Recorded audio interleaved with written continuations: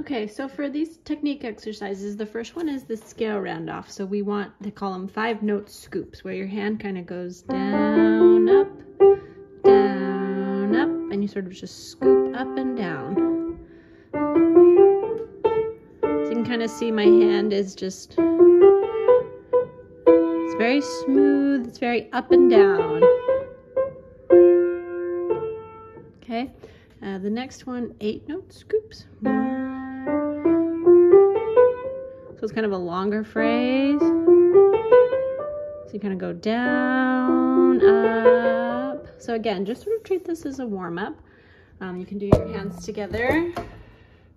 Here, I'll go right here. Down, down, up, down, up, up, down, up. And then on the next one, we go. Just, you can kind of hear it in the volume as well, where it sort of gets a little bit louder towards the end of each phrase, okay? All right, then if we turn the page to the tropical fish song, again, it kind of looks like a lot, but really all it is is some uh, contrary motion, okay? So we're gonna put our hands here on F and C and A and D. And then we just have the same fingering. Five, one, three, one, five, one, five. See that? So your finger is just playing the same fingers.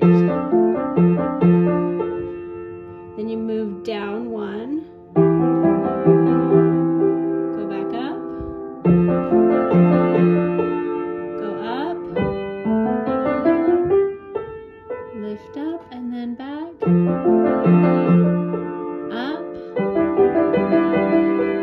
Again. Up. And then we're here on this chord. Down, down, down.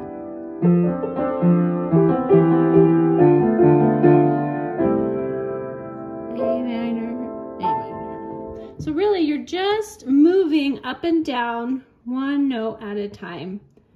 Keeping your hands together and just playing that contrary motion with the same fingering on different notes, right? Five, one, three, one, five, one. Okay, so just maybe it might be helpful to just go through every time it says lift, you could just mark the direction that you're going. Like here you go down to a G, then you go back up, both hands go back up. Um, here both hands go up. Here both hands go down. Measure 10, both hands go up. Uh, up again, up again, and then up again. So you're just going up, up, up, up, and then down, down, down, down, and down again to now we're back on A and F. Okay, does that make sense? Sorry, down. So we go here, down, down, down. So you can make those marks if you want. That might help you. And then your right hand goes up and up. So I'll play it one more time. So here we are here.